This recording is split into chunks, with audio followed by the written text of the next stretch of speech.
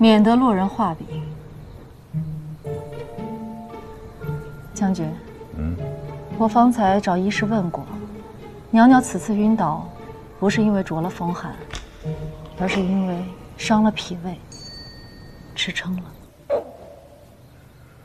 那是因为女公子饿狠了，平日里他们连一顿饱饭都不给，今儿是着急将女公子带回来，才送了些吃食。女公子饿了几日，一时之间吃猛了才，他是怕吃了这一顿没有下一顿，不然何必这般呢？我们在外打仗，本想着袅袅在家里头吃喝不愁，谁知竟过得连流民都不如。行了，我知道了，你先退去吧。是。女君在女公子身边已留下了知心照顾之人，可没想到还是让那葛氏坑害了。如今既然我已经回来了，这些事定然不会再发生。天色不早了，将军不是还要去探望二弟吗？我去看看。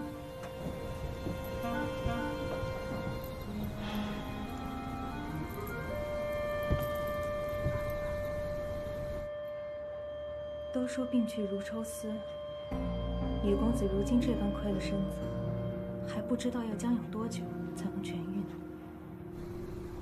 他近日晕的倒是时候，刚好给我们由头挑出君姑理亏之处。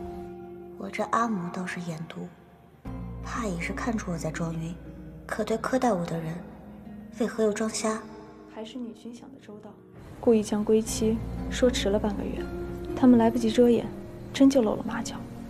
这些人心中记恨女君，便迁怒于女公子，如此苛待她。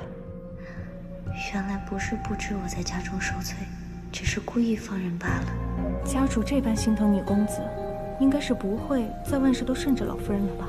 放心，将军若是妇人之仁，朕前早死好几回了。将军是个明理是非之人，这天下哪有斗不过君姑的心腹？就是看夫婿肯不肯帮手罢了。哼，拿自己女儿来行苦肉计，好让阿父与大母离心。阿母这法子是真够狠的。我不忧心夫君，我只担心自己撒手不管十几年，这朽木才能掉，如今只能严加管教，费力气把歪树掰直了。不去管欺负我的，反倒琢磨着来管教我，靠他不如靠近，看来还得我自己来。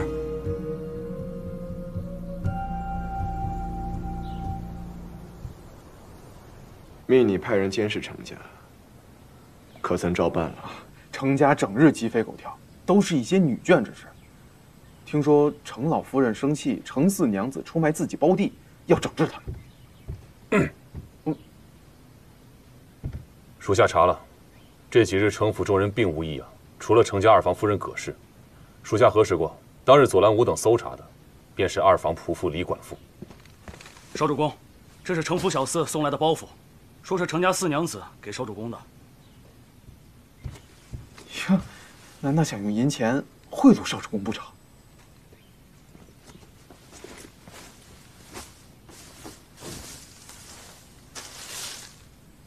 怎么是一堆破烂儿啊？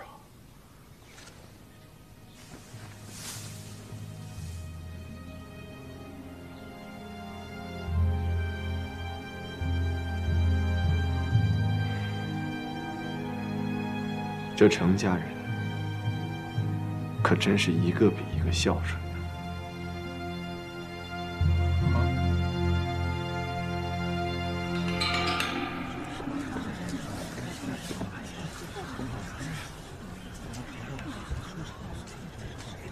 赵主公，不出你所料，这布庄账簿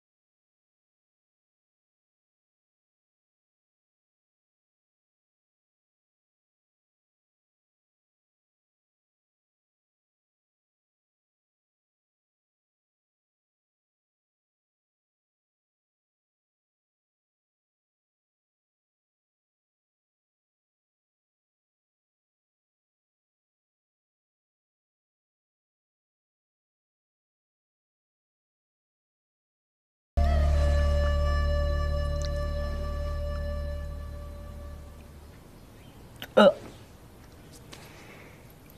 我不喝，你拿走吧。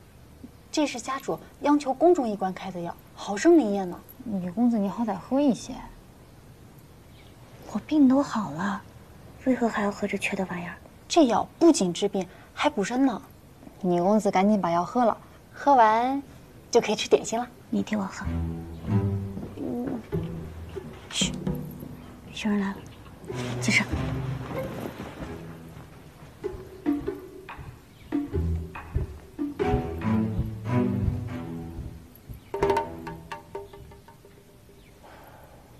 儿子还不见好转啊！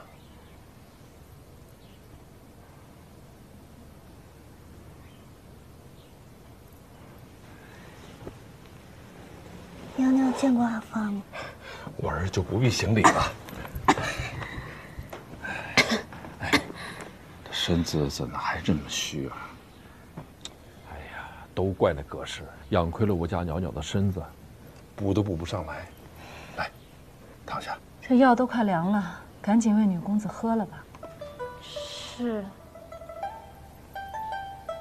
啊，来来来，喝了吧，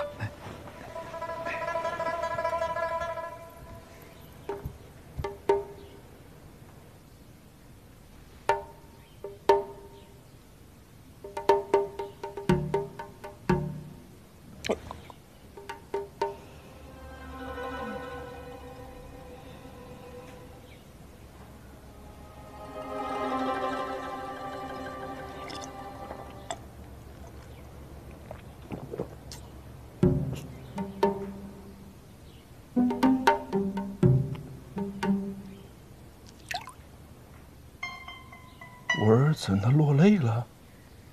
阿父，啊，这药太苦了。